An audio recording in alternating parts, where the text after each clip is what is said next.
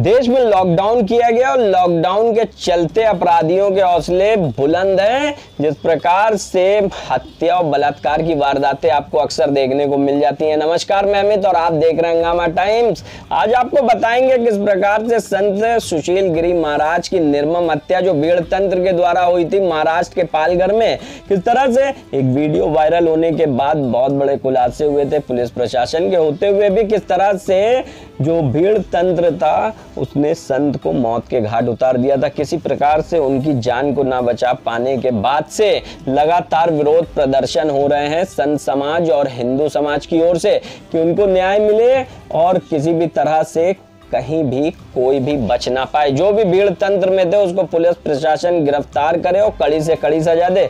तो वहीं पर उत्तर प्रदेश से सुल्तानपुर से एचआरए की टीम पहुँची सुशील गिरी महाराज संत के घर पर और जाना उनके परिवार का हाल और किस तरह से परिवार ने बताई। बड़ा खुलासा किया कि वहाँ पर किस तरह से जो संत गिरी महाराज थे सुशील, वह लगातार वीडियो कॉलिंग के द्वारा और फ़ोन के द्वारा लगातार अपने परिवार का हालचाल लेते थे। एक बड़ी बात भी सामने आई थी कि 11 साल के गिरी महाराज जी ने घर छोड़ दिया था और जब 10 साल बाद अपने परिवार वालों से बात की थी तो उन्होंने बताया था कि अब वह संत समाज में आ चुके हैं, अब उनसे कोई भी नाता परिवार ना रखे। तो वहीं पर सुशील संत गिरी महाराज की माता ने किया सरकार और प्रशासन से गुहार लगाई कि उनके बेटे को न्याय मिले, जिस तरह से उनके बेटे की हत्या की गई है, उसी तरह से उन आरोपियों को भी मौत के घाट उतार दिया जाए। तो आइए डालते नज़र एक सनसनी केस खुलासे पर, किस तरह से पीड़ित परिवार सुशील संत गिरी महाराज का लगा रहा है शासन प्रशासन से गुहार। स्वर्गीय महान श्री सुशील दास महाराज जी के घर पे जिनका पूरा नाम गाँव का शिव नारायण दुबे था जो चादा के निवासी थे और उनकी माता जी हैं जो कि काफ़ी दुखी और काफ़ी पीड़ित हैं।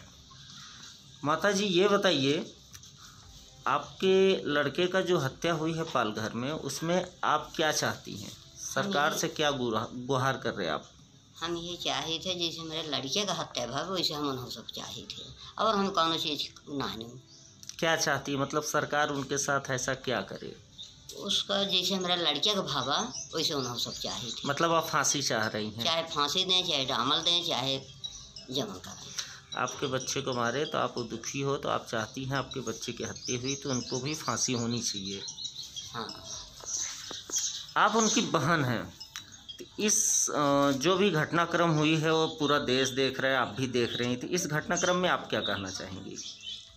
इस घटनाक्रम में मैं यही कहूँगी कि दोषियों को सज़ा मिले और मेरे भाई को न्याय मिले और जो भी भारतीय दंड संहिता में कठोर से कठोरतम दंड हो, वो उन्हें मिले क्योंकि उन्होंने क्रूरतम अपराध किया है। और उस वीडियो को देखने के बाद आपको लगेगा कि इससे ज़्यादा विभत्स दृश्य शायद ही कोई हो सकता है।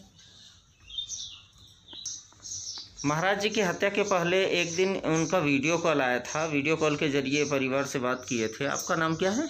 जी मेरा नाम योगेश दुबे है। ये योगेश दुबे आप क्या लगते हैं उनके?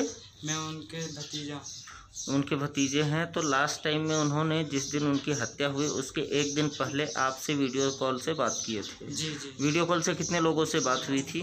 जी हमारे परिवार में जितने भी सदस्य हैं सभी से उन्होंने बात ये सब ये जितने लोग हैं ये सारे के सारे आपके परिवार है ये आपके माता जी हैं आपके भाई हैं और ये सिस्टर हैं सबसे बात हुई थी। आखिरी बार यही बात हुई थी। आखिरी बार लॉकडाउन था उन्होंने कहा कि जो है वैसे भी जब से जो है लॉकडाउन चल रहा है वो पर डे कॉल किया करते थे माता जी से बात करनी रहती थी।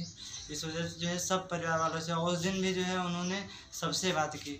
हत्या के कितनी देर के बाद आपको पता चला कि उनकी हत्या हो गई? हम लोग को जो है अट्ठारह तारीख को जो है सुबह में लगभग नौ आठ नौ बजे के करीब जो है हम लोग को पता चला। मतलब वीडियो कॉल आया था दो से तीन दिन पहले दो तीन दिन के बाद आप हत्या को जानकारी मिली।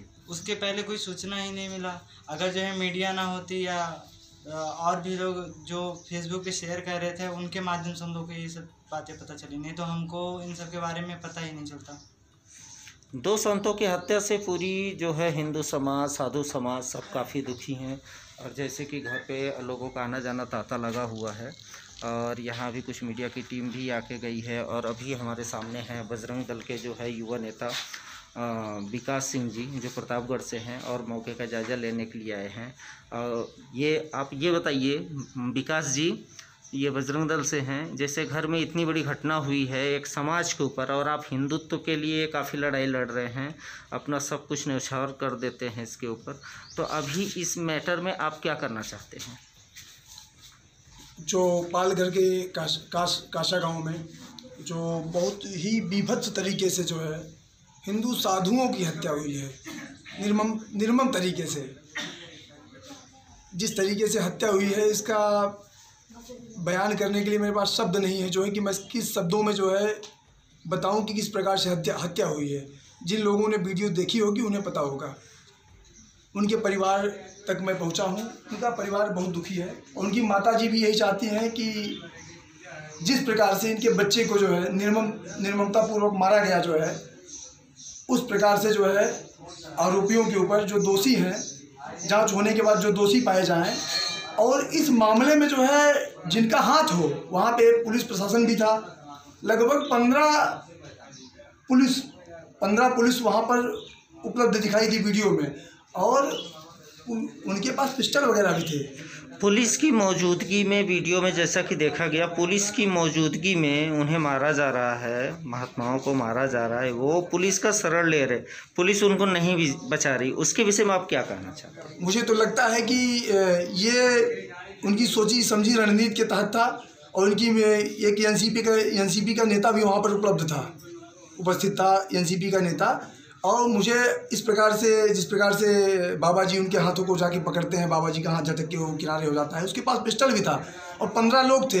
अगर चाहते इनको इनको इतनी तो ट्रेनिंग दी दी ही गई होगी कि भीड़ को कैसे कंट्रोल करना है जो है। जबकि वहाँ पे ऐसा कुछ नहीं दिखा जो है कि भीड़ को कंट्रोल करना है कि नहीं करना है। जैसे हत्या करवाने में उनका हाथ रहा हो जो है मुझे तो ऐसा लगता है जहाँ तक मेरा मानना है। और यदि यह वीडियो वायरल नहीं हुआ होता तो आज स्थिति परिस्थिति कुछ और होती है। ये वीडियो वायरल हो गया जिसे पूरा देश जान गया कि वहाँ पे क्या हुआ है। अगर ये वीडियो वायरल नहीं हुआ तो, तो हम लोगों को पता ही नहीं चल पाता कि एक्सीडेंट हुआ क्या हुआ क्या नहीं हुआ चोर समझ के मारे गए। और ये जो कह रहे हैं ना जो कह रहे हैं कि मामले को सांप्रदायिक रंग ना दिया जाए दिया जाए उनसे मैं कहना चाहता हूँ कि ये मामला सांप्रदायिक ही है जो है। वहाँ पे हिंदुओं की हत्या हुई है हिंदू साधु संतों की हत्या हुई है। हिंदू साधु संतों का अपमान नहीं सहेगा हिंदुस्तान। हम लोग हम लोग अधिक से अधिक संख्या में यहाँ से कूच करने के लिए तैयार हैं। लॉकडाउन खत्म होते ही हम लोग महाराष्ट्र पालघर की तरफ़ कूच करेंगे। अखाड़ा परिषद के आह्वान पर। जैसे कि अभी सुनने में आया है, नागा साधु पूरा का पूरा पूरा नागु, नागा साधु, वो पूरा महाराष्ट्र पालघर के लिए रवानगी करने वाले हैं। तो क्या आपका बजरंग दल और विश्व हिंदू परिषद और उनके चहीते, जो भी हिंदू समाज को ज़्यादा मानते हैं तो क्या सब कुछ करने वाले हैं महाराष्ट्र के लिए? लॉकडाउन ख़त्म होने के बाद? हिंदू समाज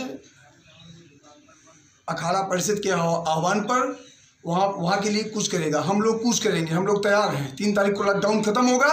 उसके बाद हम लोग जो है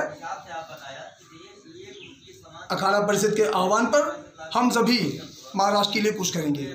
उसके बाद हम लोग कार्रवाई की मांग करेंगे, आंदोलन करेंगे, सरकार की ईंट से ईंट बजा देंगे। यदि पीड़ित परिवार को न्याय नहीं मिला तो।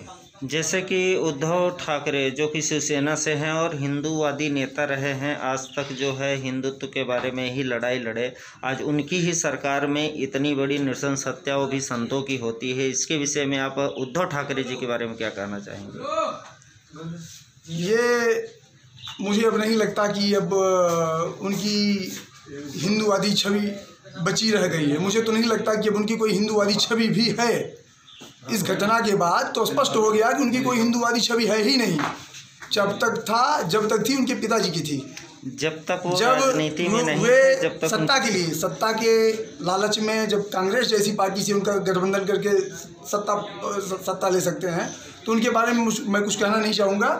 बाकी सब लोग स्वयं समझदार हैं। बस न्याय चाहिए सीधा सीधा उनको मृत्यु दंड दंड की सजा होनी चाहिए इससे कम कुछ नहीं। जैसा कि बता दें कि जो निर्मम साधुओं की हत्या हुई है ये उनकी माता जी हैं और उनके ये फ़ोटो भी कुछ दिन पहले गई है सुशील गिरी महाराज जी का और उनके पिताजी हैं स्वर्गीय राम दुलार दुबे जी, जिनकी भी जो है चौबीस तीन दो हज़ार सोलह में डेथ हो चुकी है और वो ग्यारह बारह वर्ष की उम्र से ही घर से निकल चुके थे और जो सन्यासी होते हैं अपना घर बार त्याग कर देते अपने धर्म समाज के लिए।